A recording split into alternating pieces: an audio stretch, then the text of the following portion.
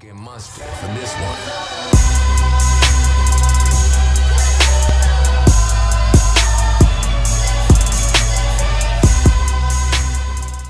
Yo, it's Evozz here, and on this video I'm going to be bringing you a Razer Black Widow X Chroma Edition unboxing, and the Razer Mamba Tournament Edition Chroma unboxing as well. And I'll be reviewing the software, showing you the different lights and stuff. But yeah, I haven't uploaded a YouTube video in a while now, so please bear with me on the editing, stuff like that. I'm getting back into it. But yeah, um, I'll be going through the unboxing now. I haven't got any commentating on the unboxing, just some background music, but I will be commentating the software and going through with you guys. So if you want to skip forward to that, please go ahead, or if you want to watch the unboxing, stay and watch. And I'll get back to you when we're in the software.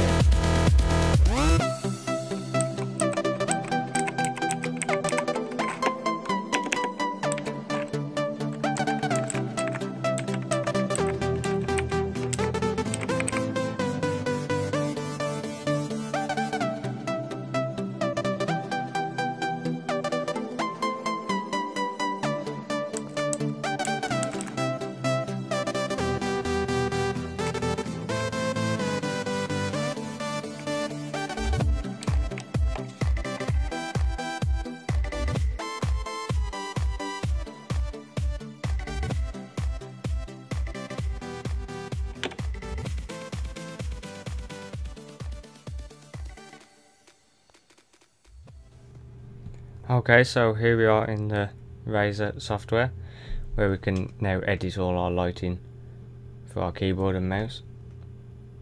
As you can see on the camera, this is what I've got it set to at the moment, but um, we can change it here if we go to lighting. Um, we've got it on wave at the moment, so we'll go through each one. Breathing.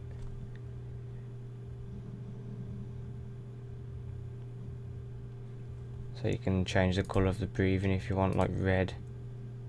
And change that colour to blue maybe. So you can have two colours. There's the red. And there's the blue. Random colour. That'll pick a colour for you. Like, yep, it'll be any random. That was like an orange colour. Oh, now a lighter blue. Now if I click this, apply to other Chroma enabled devices, then that will sync it with the mouse. See that'll come on red and that will come on red. Next one we've got reactive. I like this one quite a bit. Each key you click, it basically just stays on.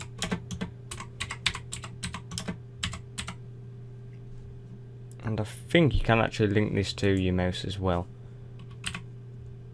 Yeah, so when you click your mouse, it lights up.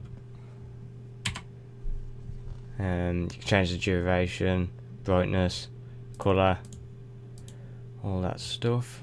Spectrum, cycling. This basically fades through all the colours on the software. You can apply it to your mouse as well, or whatever other Chroma devices you've got. So it's all the same. Next we've got Starlight. And this just simply, well, flashes different different colours.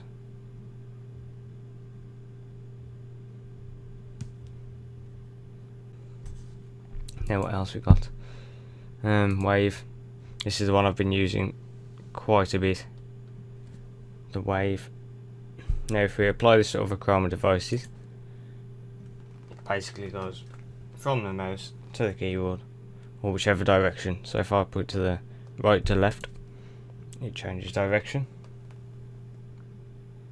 which is pretty nice.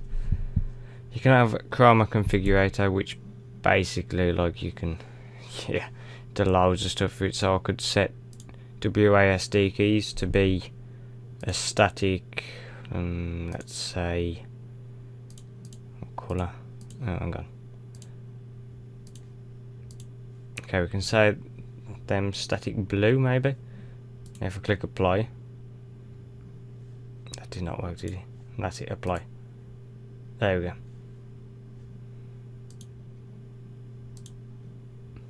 Well, okay, does take a bit of getting used to, but you can always mess around with it.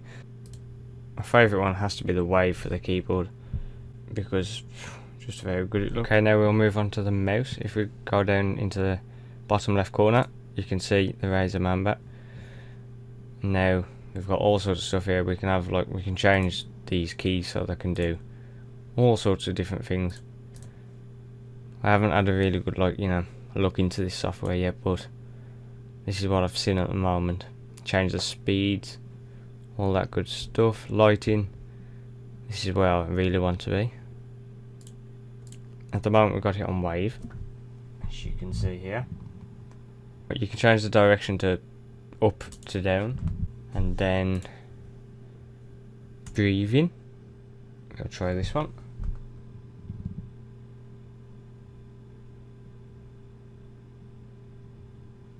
Okay, so that's the breathing, going into different colours. Now we can try the spectrum cycling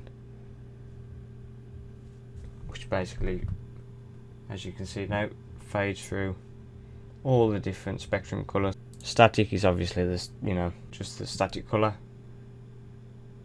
Now we can change this colour if we want to, any static colour we want really. So there's the blue, looks pretty nice. And while we're doing this we can apply it to other chroma devices, which will apply it to the keyboard as well. If I put this on bright, gives it more bright colour obviously. and the last one we're down to now is the wave. Definitely my favourite one, as you can see. Now it is going in match with the keyboard.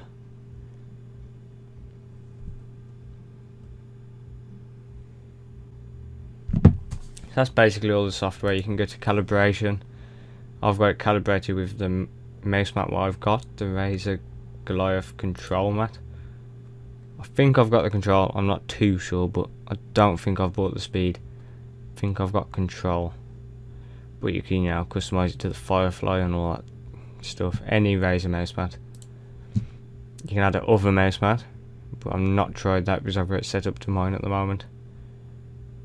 And you got this stuff you can read yourself if you want to pause it. And then you can have, you know, custom Chroma apps. Not tried any of this stuff, but I'm not too sure what that all does, but that's basically a little overview of what we can do on this. You can change the keyboard to gaming mode. That basically disables like the window key, the Alt and F4. So if you accidentally click them in a game, then you know it's all good, nothing will happen.